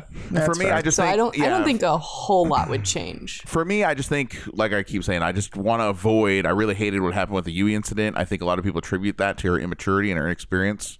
So I think the spirit of this of this comment is that uh, we just want to avoid that happening in the future. I would really hate it if it devolved into socks and shit for Tokyo 2019 2020. Sucks. Like, please, I- can we stop? fucking socks It'll- I just it want- sucks. I just want a good spread of ages. I think that's a lot more interesting than everyone agree. being 22 or everyone being 33 or everyone being Mm-hmm. I agree. 44. You know, I, I think the the spread of ages helps because, like, yes, I agree with Daly that just because you're 44 doesn't necessarily mean you have to be more mature than a 22 year old. But nonetheless, you're going to be at a different point in your life when you're 44 than when you're 22. You may not change, you know, your personality, but you're dealing with a lot more shit at 44. You know, Yeah. potentially. And if you just So if you just think about it from the angle of uh, you're a showrunner, right? You're one of the producers, and you run a show like this, a reality TV show. You're more than likely going to want to have uh, a myriad of different ages and personalities and and traits and skills and jobs, because you want to diversify a show like this as much as possible. You want to have a, a person that all kinds of different people that are watching can relate to and latch onto and give them a reason to keep watching right? Mm. So I, I feel like mm. I, not not that it would. I don't think it would. I would ser- I would still watch a show if it was all over older people. I would still definitely still watch it. But I think to a wider audience that's not say as hardcore as we are, I think that it would alienate some people because they they don't feel like they can relate as much because they're wor- they're people worrying about different things or have different occupations. Right. So we've got two more questions here. I want to save the best for last. So let's go with Mad Flamingo here uh, from Discord. Uh, I really like this question here. Uh, yo, you guys make so epic podcasts, lol. I always listen to them while playing League. Raw XD. Cool, good game. don't get tilted Yeah, don't get tilted. Also, only play Singed Top. Uh, with which Terrace House character do you identify the most? Excluding Hansan, of course. If someone, if one of of you said Hansan, I'd just laugh in your Hansan. face. Yeah, that's the thing, right? Is that we all that's like being like Hansan. i am god Yeah, we all like Hansan. None of us are Han. No one on Earth is Hansan except Hansan. Who do we identify with the most? Yeah. Does anyone have an answer like right off the top here? Uh, It's a tough it's, one, it's- right? off the top of my head, I, I'm thinking Uh. Taka because I, I think a lot of what happens. because you can snowboard Yeah, well, not Mm-hmm. I, I can't definitely cannot snowboard. I can't anything board. Um, but I think that in the way that he tries to give people sage advice, right, and kind of tries to life coach people a little bit. Um, like I've definitely had a handful of experiences like that uh, with myself Um, and also the way that like he has his personality, his very strong personality, and he's kind of knows what he wants to do with his life. But also when he gets involved with relationships with women or whatever, it kind of trips him up a little bit and it changes him too. And I've I've definitely been like in some ways guilty of that. So like I kind of know where he's coming from. Um, but he finds his way out of it, right? And he becomes his his self again. And so like I've definitely had experiences with that and I've learned from it. So I don't know. I and I feel like Taka just makes himself a really welcoming personality. So in that way I'm I'm drawn to him too as a viewer. I don't know. For me, it's uh God, I don't remember her name because she was on the show for like two episodes. But in OND, there was that one girl who would go back to her Korean ex. Mizuki. Oh yeah, that's Mizuki, Mizuki yes. too. That's who you All the are. Mizukis are doomed. Could you crawl in back to your house. ex? No, but I I can I'm trying to think of like writers on the show, and there are very few writers, but for her there was a lot of like overlap because you know I grew up in Korea. She spends a lot of time in Korea. She writes about fashion. I once worked at a fashion company as a copywriter, right? Um, it's either her or like the one eighth of Shohei that's a writer, like 220 Shohei, because you know he does Oh, like, like 80 other one-eighth, things, yeah. but I he to also some mental writer. gymnastics to picture this here. Yeah. Um, because you know I'm, I'm a writer by trade, and it's kind of cool seeing people on Terrace House just sitting there hunched over their laptop, doing writing because that's what I do, and I'm like, it's me, it's me, It's the That show. me. Look, it me. exactly. It me. Yeah. I I mean I guess I'm in somewhat of the same vein because I am also a writer by trade. We are we are writers here. But I guess and this is going to sound like flattering too because I just said how much I love her, but I kind of identify with Kaori. Kaori a lot because she does a lot of very artistic things. I I do design and art, etc. Um, and she also like not to this isn't me in no way complaining either but oftentimes in my friendships i'm often the listener. I people are they tell me the things and i just kind of say you gotta do what's right. And right now it's a lot of everyone feels like they can pour their heart out to Kaori right now. Mm-hmm. So i identify you know sitting there and having someone tell me like i i'm thinking about this. What should i what should i do? Mm. And And then she'll just say, Not "You necessarily. gotta do what's right." Hmm. you gotta do what's right like she she definitely doesn't take like very hard stances you know and mm. i identify that with what because i'm like i don't know your life entirely like you gotta just do what's right Basically, yeah. So for me, I definitely find that the person I agree with the most in all of Terrace House is Yama. Like I feel like that's an ah. actual answer. Like I'm actually Yama. I at least that's what I think I am, what I hope I am, maybe. But do you, when it comes hope? to when what? What do you Dylan? hope to you be ain't Yama? no cherry I think he's awesome. I, ain't I no mean, he's married- boy. He's married to you, Aoi. That's that's not a I bad. lo- yeah, a Yama bad is gig. a, no, it's not at all. So I yeah, I, that's kind of my hope, my dream. But it, I think that if I was actually in Terrace House, I would go in there with the aspiration when it comes to talking about actual time on the show and not the adjacent shit. I would want to go in there with the aspiration of being perceived as another Shion for his what he did and how he was on the show. But I think what would actually happen is I'd probably end up more like Kenny. I could definitely see myself more like Kenny. We're similar in age, uh, similar in occupation. I was a singer before as well too, and I'm not very much someone that just throws it all out there like early on. I think I would be kind of guarded on day one, and maybe people would think that I'm closed off because of it. But I also would be more kind of like the guy that is just chilling in the cut, like very um, self assured, high self esteem. I don't need to prove anything to anybody. I'm just back here minding my own business. If you want to learn about me, you come to me and be quiet and you know and I'll let other people decide if I'm the manliest guy in the house or whatever but that's that tends to be you know what he's doing now in Tokyo 2019 2020 is kind of how I think I would actually be in Terrace House Interesting. You know, I, I didn't even think about the host, but I guess I make enough dirty jokes to probably be like a Tokui. Yeah, Yeah, kind of. I can. He was like, I was thinking about what that joke he made, where he's like, uh, where he said, uh, "Cucumber's fine, but when you say zucchini, you've gone too far." that No king like shaming. that sounds like something you It's would say. Robert. Yeah. Yeah, I, and I also don't like no king shaming. I'm a very strong uh, fan of that. I'm gonna do uh, one ep- one week every episode. I'm gonna pick one kink to shame. Okay. No. Find one for next week. Yeah, Okay. we'll do No it. king Do you have shaming. one for this week? I'll find one later Okay. First, Feet. after we're done. All right. We're in the home stretch. Final question here. Last one from Pika Black. Pika Black. Uh, uh, are there any life experiences you've had that could be classified as a quote terrace house incident? Akin to the meat incident, for example. God. Some drama that was seemingly very petty, but still impacted you or your relationship with someone. Uh, I, Jack, I have a have small. one? I Okay. have a small one that really that is kind Okay. of like Colin. in this in this pocket in this wheelhouse of like it doesn't really matter, but it it was kind of petty. Uh, so I think it was like freshman year of my, my undergrad. Uh, the same year in which I've told the story about my roommate getting drunk and, and cutting his head open. Uh, if you guys remember that story.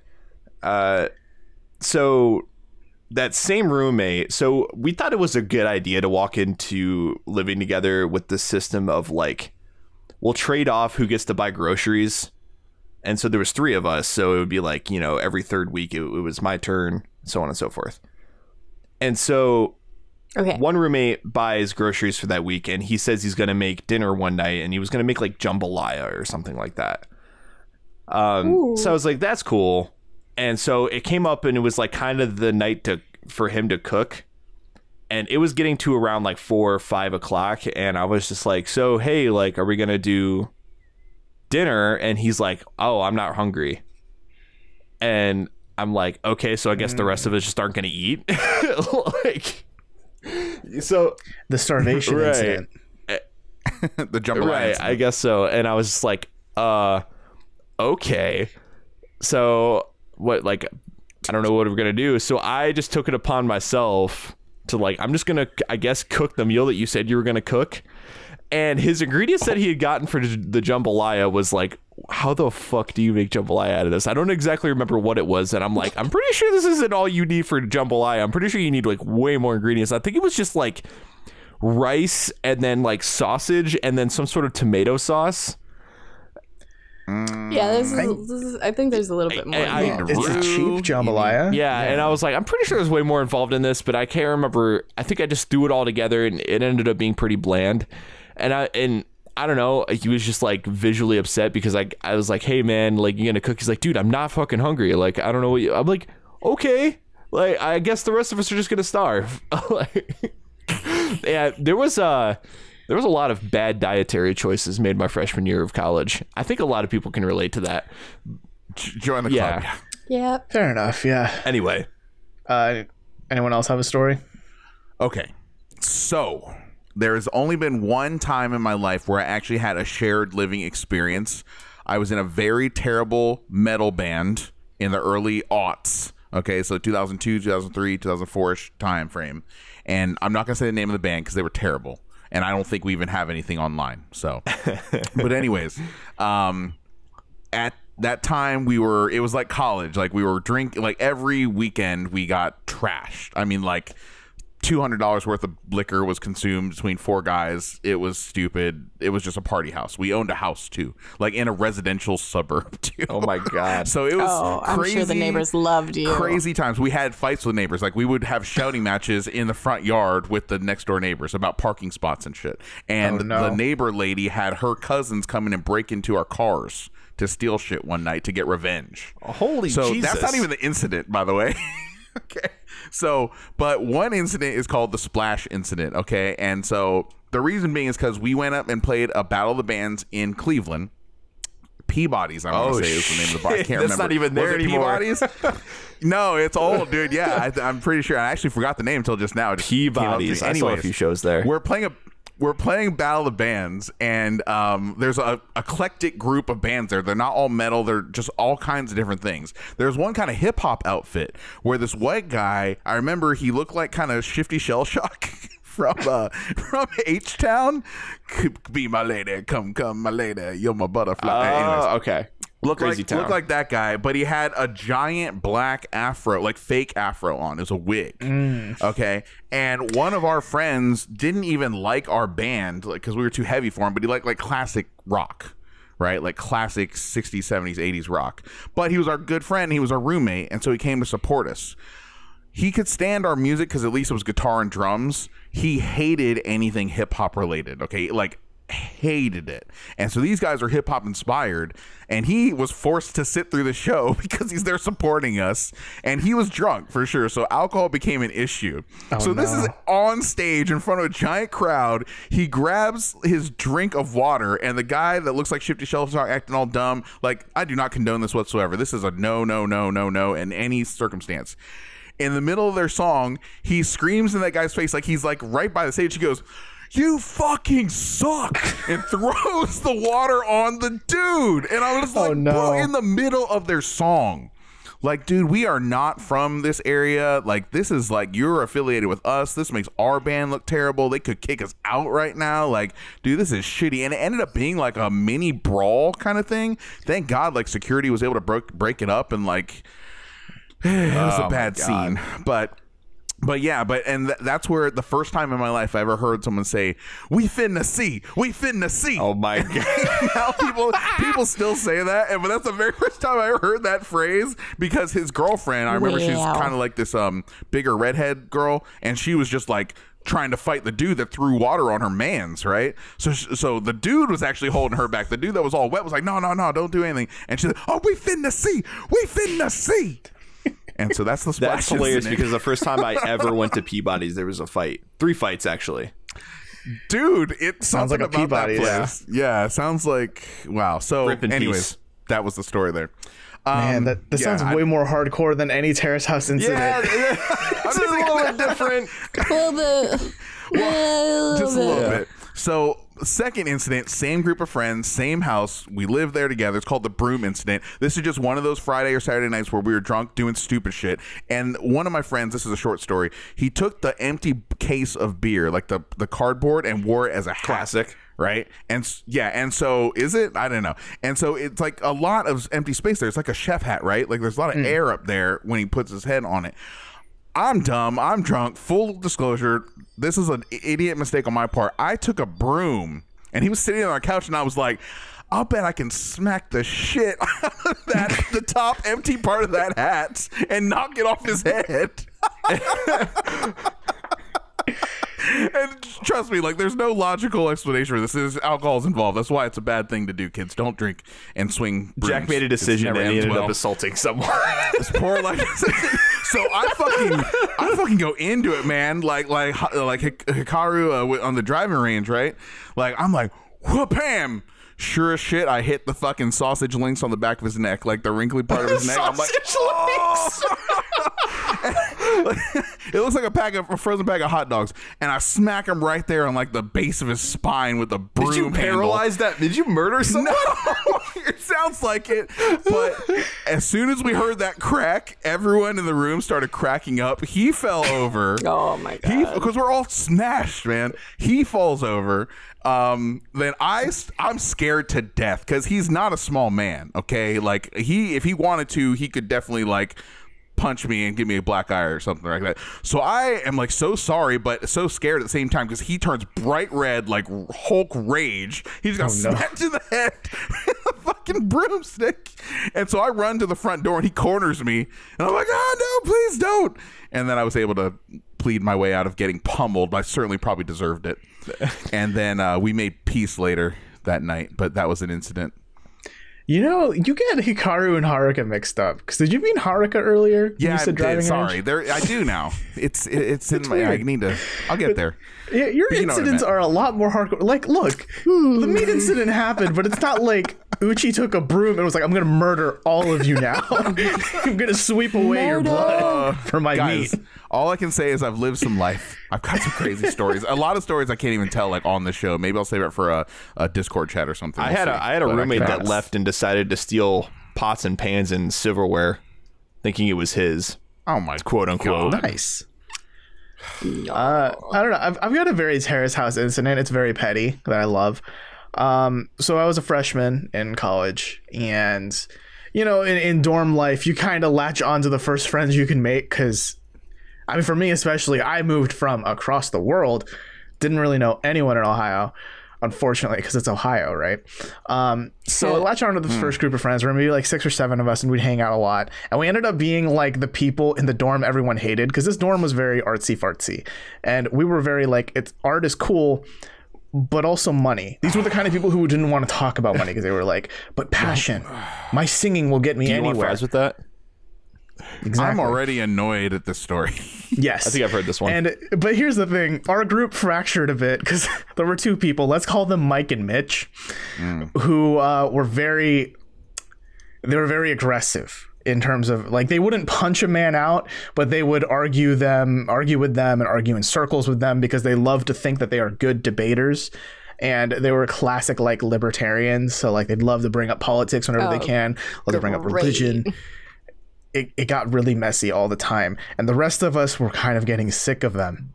So while we were all still friends, we would occasionally not go to the lobby of the dorm and just hang out in like one of the study rooms, like that are up in the dorms, right? Okay. And that's just where we'd chill. And it was just like a nice quiet environment. We'd do our work there, we'd hang out there, we'd watch movies there, all that kind of stuff. And then when we decided, when the other five of us decided we don't want to hang out with them anymore, we would go to di- different study rooms, like in the dorm, because we knew like that one was like our hangout spots. We're just gonna go to like other places. And whenever we got texts from Mike and Mitch, like, "Hey, where are you guys at?" We're like, "Oh, you you know, we're just uh, Oh we're not together. God. We're just uh, we're we're in our own rooms, or we're off doing other shit. We're in class." You So were the plastics of nerd, artsy nerds. well, these kids weren't artsy nerds. They were like us, where they didn't much like the, the art, the artsy fartsy people. Ah, got it, got it. but because they were so argumentative, we just wanted to avoid them, and we avoided them just by going to other. Like literally, it was just a matter of like we were in a room above the one we'd usually go to, that kind of Oh thing. my And we would like run around and explore the dorm and other dorms We are hidden. just to find new rooms that they won't find us in. This is petty. This is more like Terrace House. Extremely petty. Oh yeah. Petty. So what's the name? What's the name of your incident? The study room incident. Okay. Uh, me, I we guess. That's pretty good. Yeah, I mean, I Yeah. I definitely had a. This is a really short one, but I, I had like a roommate that would like. If you didn't just cut off the conversation at some point, it would just never end. You know what I'm hmm. saying? So it was one of those things where I had to like shut the doors, like yeah, uh huh, uh huh, uh huh, yep, and shut the Uh-huh, door so I could uh-huh. actually do get stuff done or play games or whatever. Otherwise, he would just sit there and, and jabber, jabber, jabber. I'm like, dude, I've been sitting here paused with my game for like 30 minutes now. I'd like to keep playing, please. Thanks. the Jabber incident. jabber. Although that that's a Java thing, is or an Oracle thing. Jabber. Yeah. Jabber. Is it Jabber. Software. It's a software. Jabberwocky. I think we covered a lot go. today, guys. We did. wow, you guys wanted shit. more. You got more. It's our longest episode probably ever. Yeah. we have. Oh God, I have like almost two hours of audio to to hey. deal with. yeah. This will be fun to Thank edit. you guys. Thank you for all your questions. We love you. We hope this was interesting for you, and uh, maybe when we get to the next milestone, we'll do another one. Yeah, and uh, you know, if you have any questions you want to ask us, you know, hey, join the Discord chat. We're we're all there. Um, we use Discord obviously to record the show itself, so like we're we're pretty connected to it. And if you want to join, the links down below. It's where we fielded most of our questions today. So if you want to be a part of that, that kind of, you know, interconnectedness, feel free to check us out down there. Yeah, personally, also everyone that um, there's a lot of response we had to the Instagram post too. So thank you for everyone that found us on Instagram as well. Awesome shit. Hell yeah. Um, I don't know. I, I guess this brings us to a wrap here. This this is a bit of a different episode for sure, but you know we'll be back again next Tuesday. You know we're doing our our typical shtick. We're gonna cover episode seven. I'm excited. Back on our bullshit. Yeah.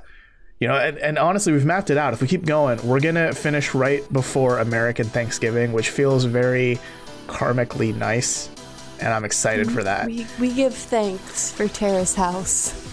and thanks to our fans because this entire episode has been driven by you guys so thank you so much for all of that this has been Tadaima. Thanks for listening. Ittekimasu.